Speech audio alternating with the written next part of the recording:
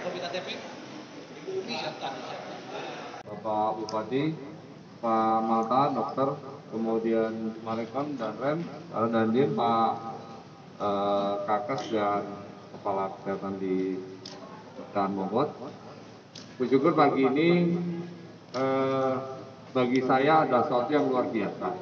Kenapa? Karena pagi ini di Tangerang ini banyak 700 orang itu adalah pasien kanker yang berani datang ke sini untuk melaksanakan vaksin.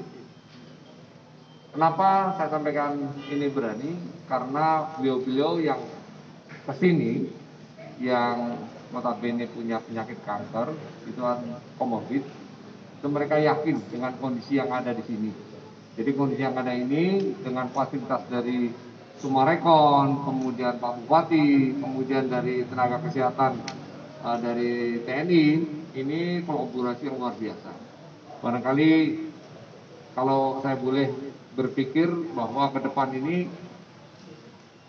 rekan-rekan saudara-saudara kita yang uh, komorbid atau kena kanker, coba nanti kami akan siapkan tempat yang barangkali lebih enak untuk bisa beliau-beliau datang untuk melaksanakan uh, kegiatan vaksin di lingkungan DKI atau di sekitarnya agar mereka lebih rentan terhadap memang mereka dapat eh, apa namanya lebih kuat menghadapi COVID-19.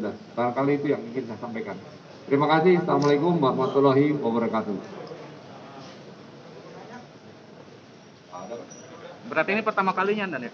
Eh, sebetulnya begini, bukan pertama kali ya. Waktu itu di Darmais sudah dilaksanakan, tapi yang datang cuma sedikit. Cuma berapa kemarin Pak? Ya hanya 10% dari total keinginan nggak pada datang. Sekarang pada datang. Jadi kalau tadi Mas eh, Mbak lihat yang pakai kartu merah itu adalah mereka yang kena kanker yang nggak terpisah ini. Mereka adalah rentan terhadap COVID. Maka eh, jumlah yang sampai 700 pendaftar ini, ini luar biasa. Sampai dari Bogor saja datangnya ke sini hanya untuk vaksin.